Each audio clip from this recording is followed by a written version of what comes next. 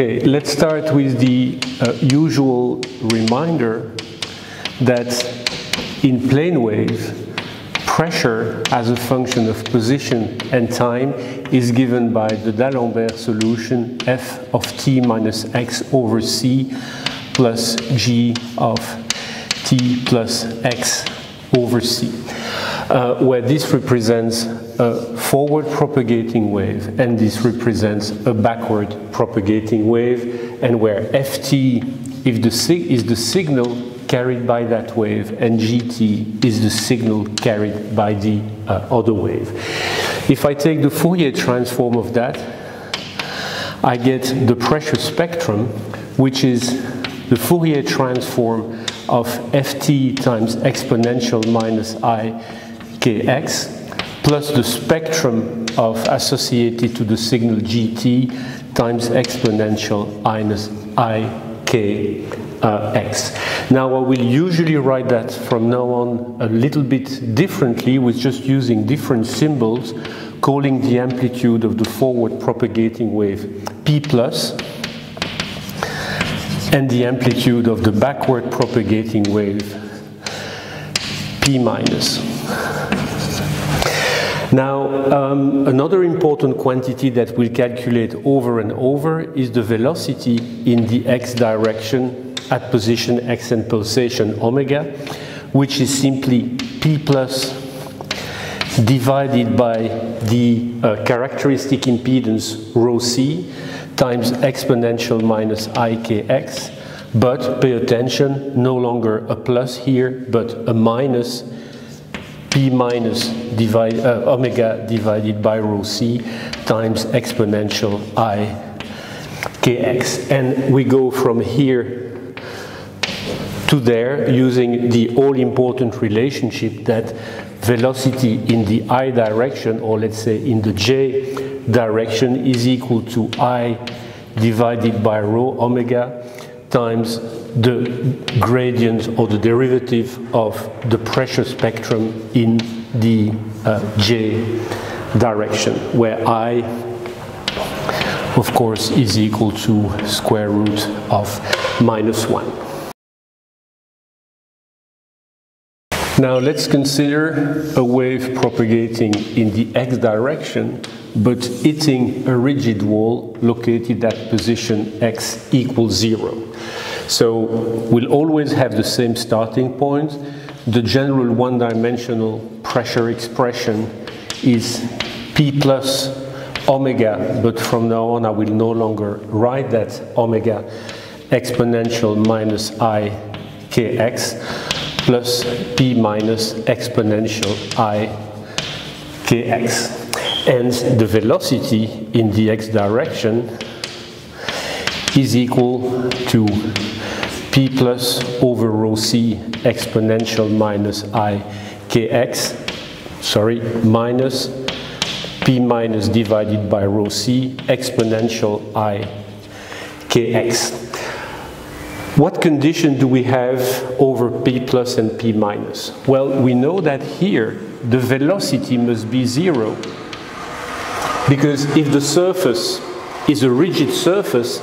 the air particles cannot get in and out of, let's say, the wall, and so the local normal velocity must be equal to zero. So we have that Vx zero omega must be zero, which means that p plus over rho c minus p minus over rho c is equal to zero, which means that p plus is equal to p minus. So we have necessarily, if the plane wave p plus comes and hits a wall, the reflected wave, the wave traveling in the other direction, must have strictly the same amplitude, which means that our pressure field here becomes simply p plus exponential minus i kx plus, plus exponential plus i kx, which means 2p plus cosine kx, from which we get an important result is that the pressure at the wall is equal to twice the amplitude of the incident pressure. When the pressure, a pressure wave is emitted, comes, travels towards the wall, hits the wall and is reflected locally at the wall, the pressure is twice the amplitude of the incident pressure because there we have a perfect um, uh, in interaction between the incident wave and the reflected wave. But the uh, velocity field is given by p plus over rho c times exponential minus i kx minus exponential i kx, which give us um, 2, 2i p plus divided by rho c, let me see, minus 2i p plus sine kx. And uh, you see that the impedance, which is the, the ratio of pressure to velocity is equal to this divided by that. So we get rho c, uh, i, 2i rho c cosine kx over sine kx, which is purely imaginary.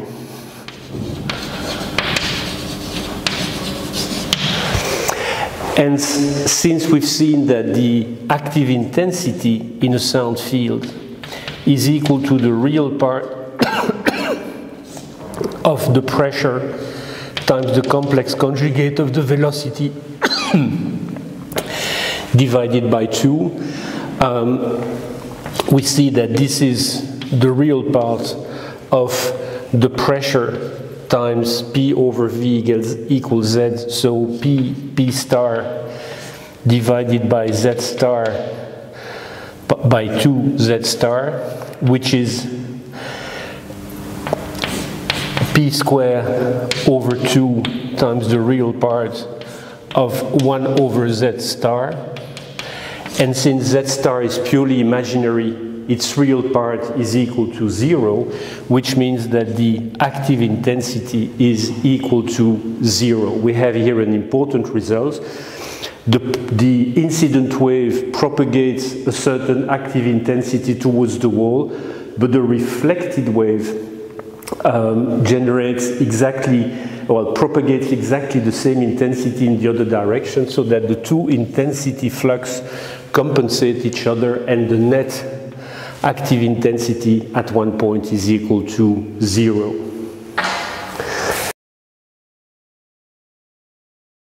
Now we have another case that we have to study is that of a propagating wave of amplitude P plus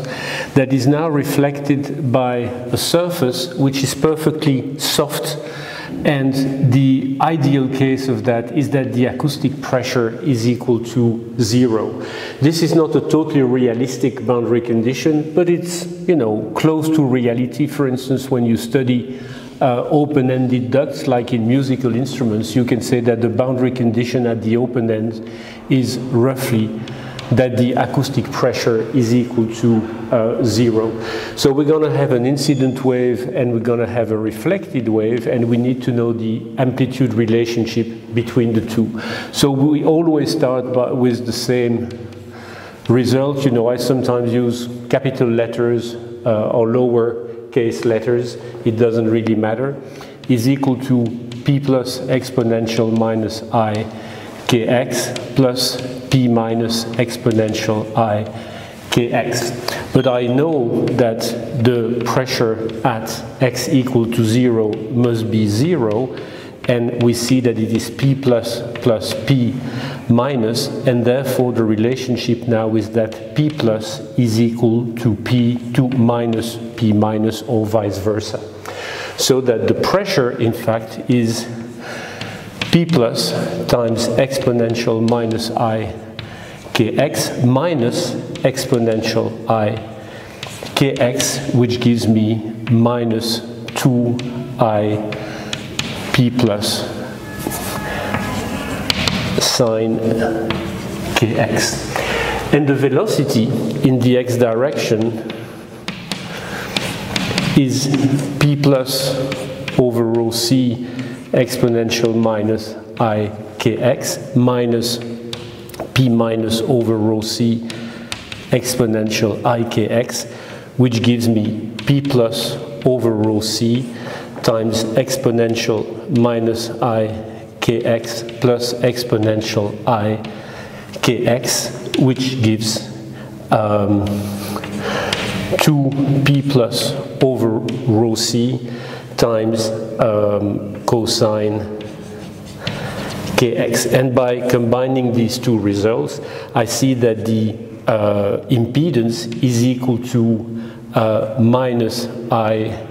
rho c sine kx over cosine kx. It is purely imaginary, and so we have the same results as before, that the active intensity in such a standing uh, wave field is equal to zero. Um, we'll now see the most general case where you have an incident wave, a reflected wave, and a wall, but this time the wall is neither perfectly rigid nor perfectly soft. We assume that it is covered by a certain material, uh, which is characterized by its normal impedance Zx. So the, u, the starting point is always the same, p is p plus exponential minus i kx plus p minus exponential i kx, so that the pressure at the wall is equal to p plus plus p minus. For the velocity, we have p plus over rho c exponential minus i kx minus p minus over rho c exponential i kx so that the x velocity at the wall is equal to p plus minus p minus divided by rho c. And by putting these two together, we see that the impedance is equal to uh, rho c times p plus plus p minus divided by uh, p plus minus p minus. So if we uh, define the reflection coefficient as the amplitude of the reflected wave over the amplitude of the incident wave, we can rewrite the impedance as rho c times 1 plus r divided by 1 minus r. And this relationship can be easily inverted as you can easily check to see that the reflection coefficient is equal to uh, z minus rho c over z plus rho c. This is an extremely important uh, result which says that, which gives the, the ratio of the reflected to incident wave as a function of the uh, normal impedance at the wall. And we see three special cases. When the velocity is zero, the impedance is infinite, and indeed the limit of this for z tending to infinity is equal to 1, which we've seen, p plus is equal to p minus. The other case is when the pressure is equal to zero, where Z is equal to zero, and when Z is equal to zero, we see that R is equal to minus one, so that P plus is equal to minus P minus. But we see another very important value, which corresponds to the case where Z is equal to rho times C, so the impedance at the wall is equal to the characteristic impedance of the media, where the reflected, reflection coefficient is zero, so that P, P minus is equal to zero, whatever P plus. This is, of course, a theoretical case. There is no material that has that impedance, but it is logical that, that should we find such a material, there would be no reflection because a, a, a forward propagating wave is characterized by an impedance of rho c, so that if you face it with a material that forces it to adopt the same impedance, it just you know, gets in and disappears